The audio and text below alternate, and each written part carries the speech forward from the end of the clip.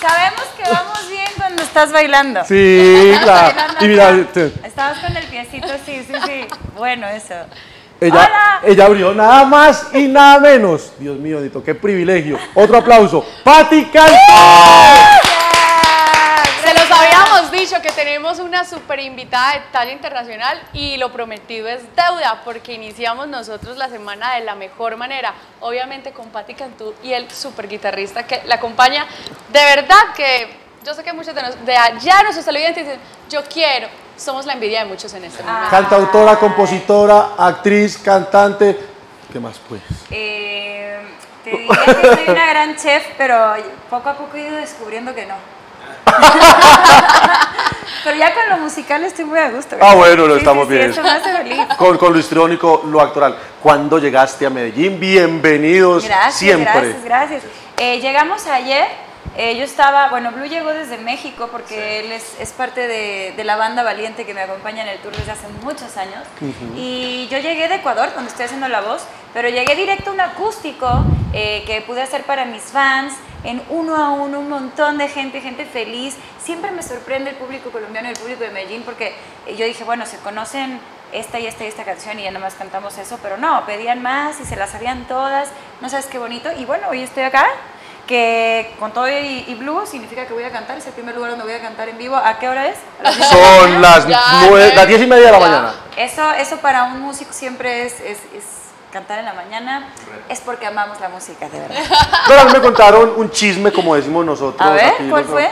Ah, que usted eh, le dijo a la productora, póngame a cantar donde ustedes quieran. Y se lo tomaron muy en serio. Entonces, Sí, desde que levanta. Pati a cantar, desayuno. Así fue, gracias, sí, así le dije a mi equipo de Universal eh, Colombia, ustedes pónganme a cantar en todos lados, entonces desde entonces Pedro Casadiego, yo abro los ojos y me pone a cantar en misa, en el coche, bueno, en Bogotá, pero es, es- es chulo porque es a lo que me dedico al final, eh, tuvimos también un show que es acústico y se llenó tanto el lugar, bendito sea Dios, que se quedó mucha gente fuera y estaban muy tristes. Entonces, ¿por qué no? Decidimos que les íbamos a ir a cantar desde la calle antes de entrar al concierto. Les dimos ¿Cómo? mini concierto en la calle.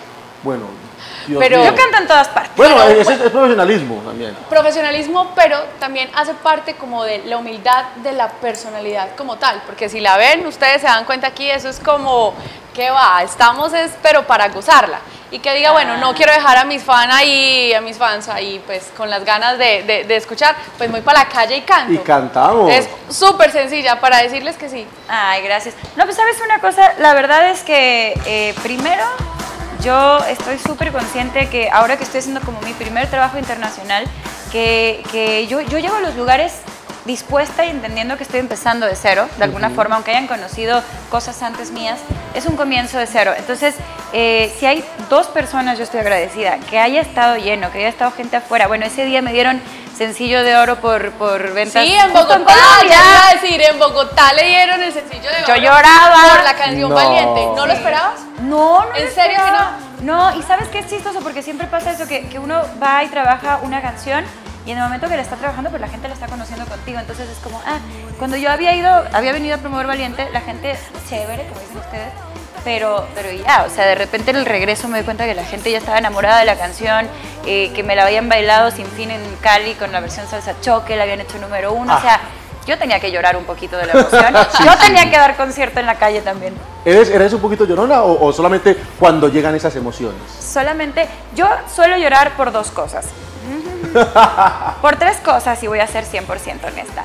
Eh, una es frustración, cuando de verdad hay algo que no puedo solucionar y, y- y- y- y no quiero tratar de hacerlo con palabras y decir algo que me arrepienta. eh, ahí puedo llorar así, es, pero esa es una lágrima, de novela, nada más es una. Cuando me dan una, está frustrada la vieja, sí, sí, quiere sí, decir cosas que no se atreve así. Vamos conociendo. Y luego las lágrimas de emoción, de, de conmovida, esas sí, esas sí pueden ser varias. Y hasta puedo cantar horrible así de... Entre, en- Em, entrecortada. Ajá, y la tercera que se llaman... ¿Qué va mi...?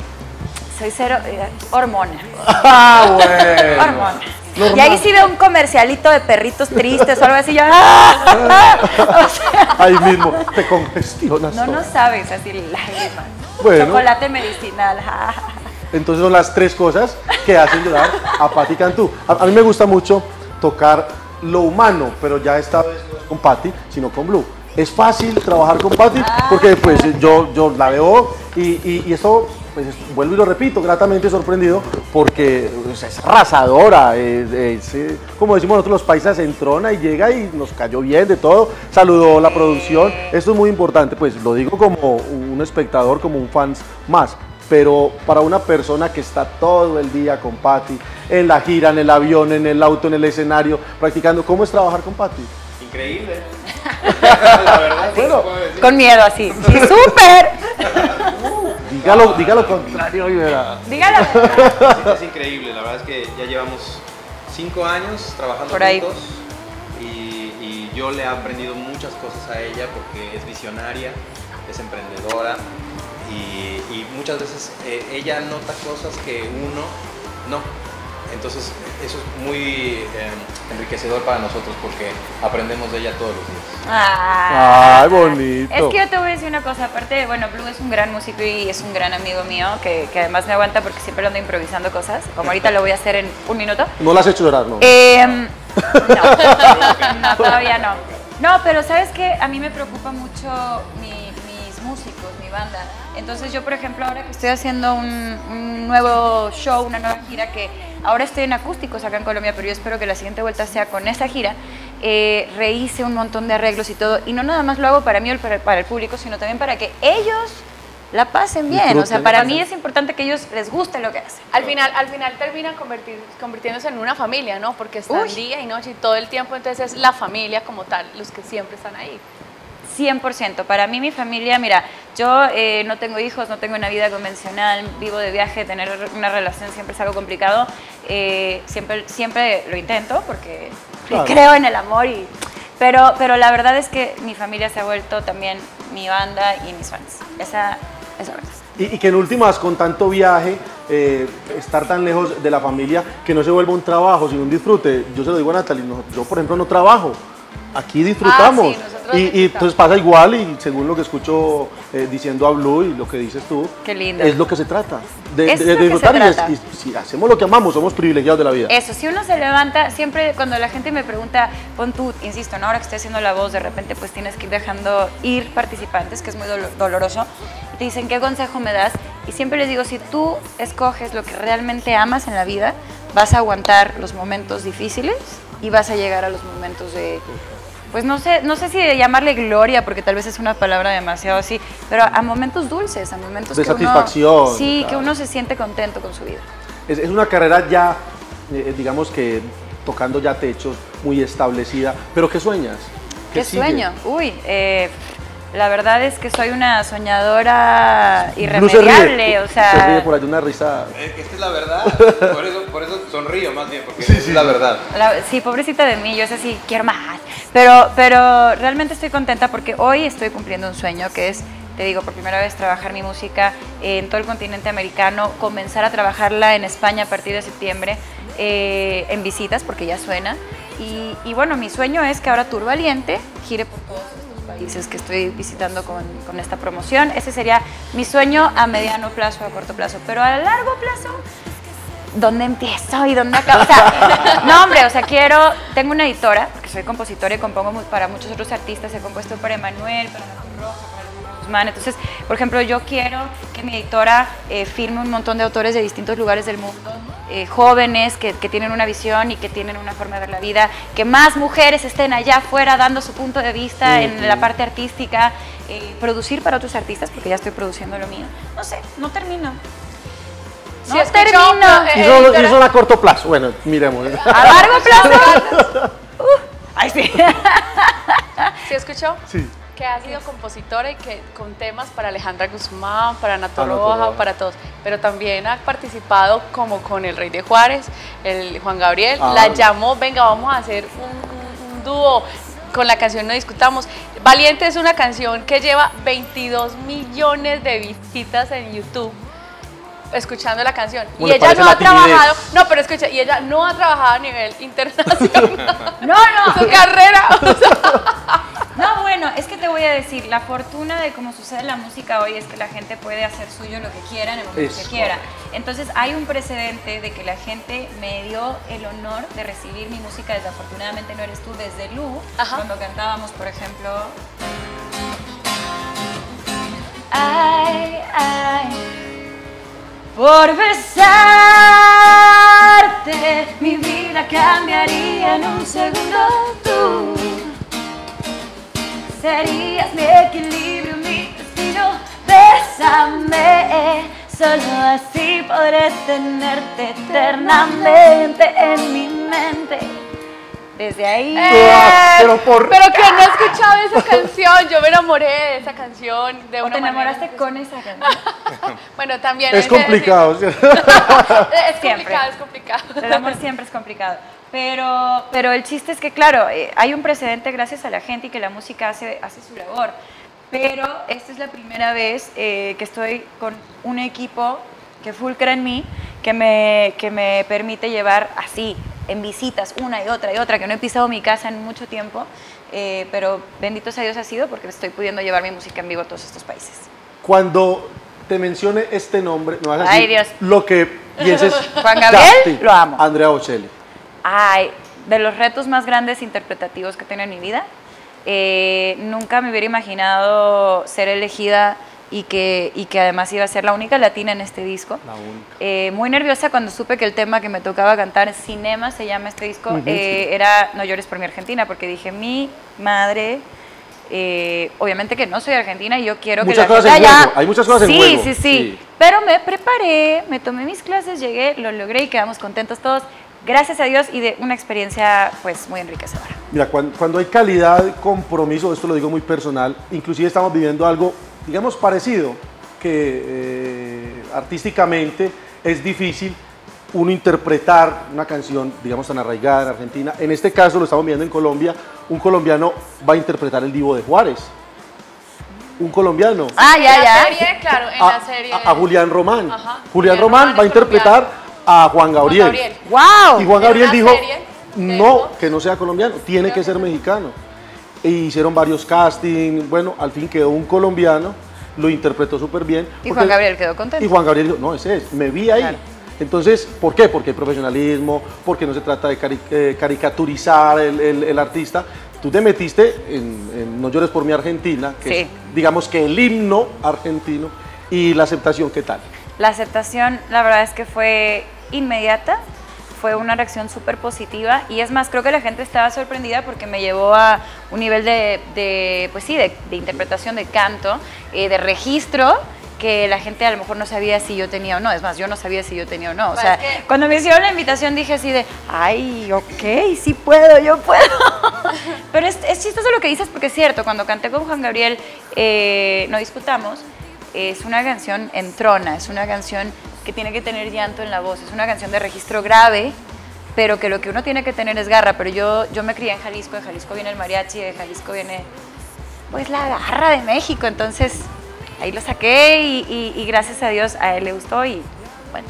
Claro, pues yo, uno, uno vuelvo y lo repito, como simple fans, eh, como ahí detrás de la barrera, bueno, cantar, cantantes muchos, pero interpretar que se transmita el mensaje de la canción.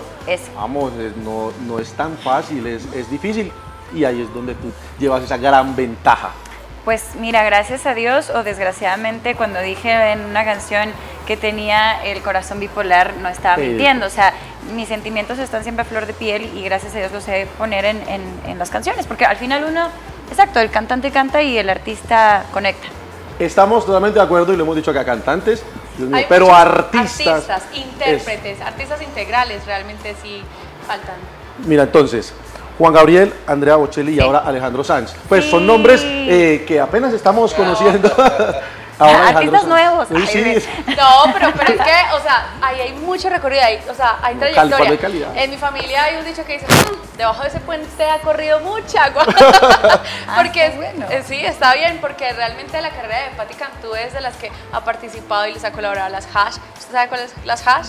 O sea, las hemos tenido acá eh, en Medellín, pues digo yo, en Medellín y con toda esta clase de personas que son de también talla internacional. Entonces, obviamente, ¿cómo se iba a, pero ellos saben a quién invitan. Ajá, ellos ¿cómo se iba a saben perder a Alejandro Sanz de tenerla allá al lado, definitivamente? Ah, Entonces Ay, Alejandro Sanz ya se viene. Ya, Ah, ya, ya, ya viene porque, bueno, de entrada, eh, uno de los, para mí, de los mejores artistas que hay en el mundo. Eh, alguien que me inspiró eh, en, la parte, en la parte autoral, aún antes de haberlo conocido. Él ya era parte de, de las, de estos artistas que, que- tenían una influencia enorme en mí, de decir, hay, hay alguien en el mundo que se atreve a decir todo lo que siente y ponerlo en esta poesía y conectar. Y, fue muy motivante conocerlo, hacer ahora esta, mm, digamos que tener este respeto artístico mutuo. Y la verdad es que las veces que, que me ha invitado a cantar con él, que me, que me ha dado el honor eh, de compartir con él, siempre la paso espectacular. Ha sido en Viña, ha sido en México, ha sido en distintos escenarios. Eh, mañana será aquí, aquí en Medellín, en su eh, concierto del tour de la gira Sirope. Eh, me invitó a despeinarme con él en una canción. Así que no sé qué haremos, pero haremos algo especial para el público de Medellín y espero que lo disfruten porque, bueno, para mí siempre con mucho respeto el escenario de un colega porque al final es su concierto, pero yo con él siempre aprendo. Incluso ha sido alguien que me ha motivado y me ha empujado a componer exigiéndome más. Entonces, uno disfruta siempre. ¿Qué tal. Medellín? ¿Que ¿Les ha gustado Medellín? Hermoso, claro. ¿Te gusta? Sí, hermoso. ¿Cómo se, ¿Cuál es el gentilicio de Medellín? Los medellinenses. Medellinenses. Paisas. Se me hace que le O gusta paisas, a los paisas los y los paisas. Creo que le gustan las paisas. Creo que además de Yo que soy paisa también, te apoyo. Bien, hermano. ¿Qué vamos a, a- a comer acá? Porque en Bogotá ya comí todo. Bueno. Pero aquí está la bandeja paisa, que esa no, puede- ustedes, ustedes no se pueden ir sin comer bande- bandeja paisa, definitivamente. ¿Qué Ok. son los, los, los frijolitos eh, eh, deliciosos? Pero no que frijol refrito, sino el, porque como allá Cocinados, es este frijol caso. refrito, no es, es- Bueno, es es sino que la pidan- pepita, la, La pepita. pepita. Hay uno que pidan bandeja paisa. Ajá. Les cuento un secreto. A ver. Si por mí fuera, te tuviera aquí ¿Pero ya me tengo que 20 ir? horas. Ah, pues te voy a cantar antes de irme. Pues que no se va a ir todavía. Ah, ok. Entonces, No primero. ¿comercial? No, tampoco. Nos vamos a conocer más. Ah, ok. Días, eh, redes sociales, vamos a cantar, por supuesto. Y la invitación, porque ella apenas solamente tiene 200 millones de descargas en YouTube o de visualizaciones, apenas. Entonces, para que vean el canal de YouTube también, las redes sociales. más. Ay. Sí, sí. Re- redes sociales y vamos a cantar, obviamente. eh, redes sociales, ¿saco la cámara que sea? La general, la- la de por allá Eh, arriba. Nunca la vi. Ah, ok. Hola.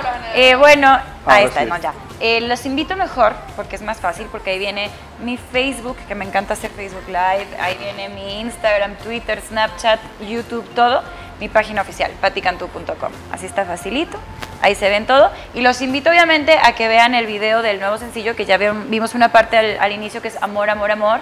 Para los que sabemos, una, que el amor toca la puerta de cada quien de forma distinta y que no hay que juzgar. Y dos, que si uno por amor inventa religiones, eh, pero uno por amor también se cae y se rompe, uno por amor se levanta y siempre va a valer la pena dejarle la puerta abierta, pero quiero cantarles valiente porque como ya vieron amor, amor en el video, pues mejor les canto, ¿no? Yo soy Ah, un valiente. historia. Y Historia, que porque fue la- la, de, la del premio de oro. Sí, ese fue el, el single de oro, pero historia, porque la empecé a contar hace poco porque no me había animado. En el castillo, porque un palacio, el Palacio Sanssouci, donde se hizo Amor, Amor, Amor en Argentina, en la noche, fantasmas. No salen en el video, todos tranquilos, pero les quiero contar porque, bueno, es una historia Vale la extraña pena, vale la pena. que no había dicho en tele, mira, mira. Mejor dicho, eres una valiente. Ya. si usted encuentra un fantasma en el video, me avisa. Yo no los vi, pero en la vida real sí. Se lo- lo- Ok. pero vi- ¿lo vieron? ¿Lo No, vieron? no vimos, sino es que se ¿Lo abrían, sintieron? se abrían las puertas, se cerraban, sí, o sea, estaba el asunto bueno en la noche. Pero bueno, justamente por eso esta canción, no, no es por eso, pero esta canción se llama Valiente. Si usted quiere ir al Palacio de Sanssouci, es un valiente, pero sí vale la pena. De día está chulo. A ver, Mm, venga. Lo pensaré.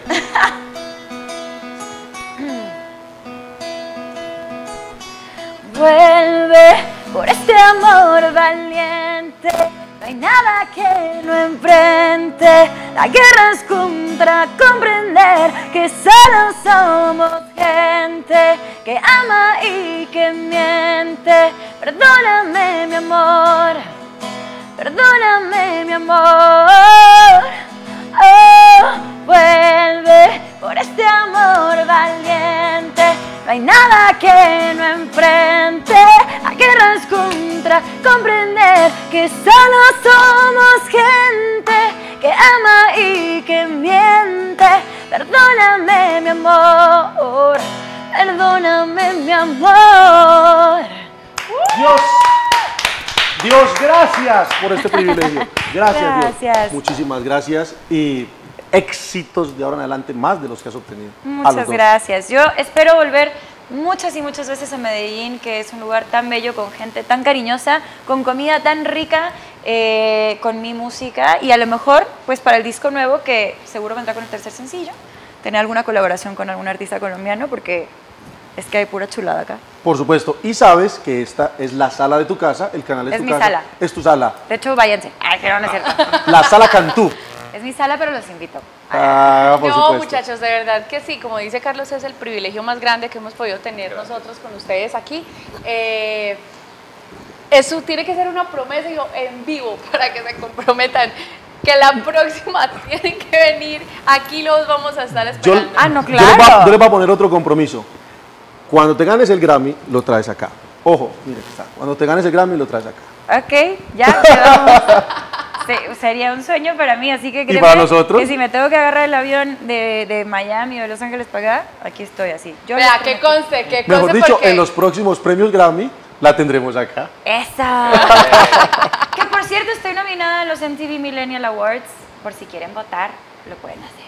Porque van Si a no votar. quieren, pues no lo hagan. Porque van a votar. ¿Cómo votan? Eh, usando o metiéndose a la página directo de, de MTV Latino o usando los hashtags específicos que ahí les dicen. Eh, las nominaciones son Mejor Artista México y Viejita el Año. Entonces, si ustedes les late, además hice una promesa y la promesa es, quien más vote, gane o no gane el premio, me irá conmigo de acompañante a estos premios. Será mi date. Oiga, No te importa digo si es desde ya a De acá, De de donde sea, empecemos, de empecemos. donde- No, eso Empecemos, empecemos. ¿Usted se imagina? Yo les pague. Dios los bendiga. Igualmente, gracias por este gracias, recibimiento, este trato tan cariñoso y un beso a toda la gente de Medellín tan linda, de verdad. Nos vemos.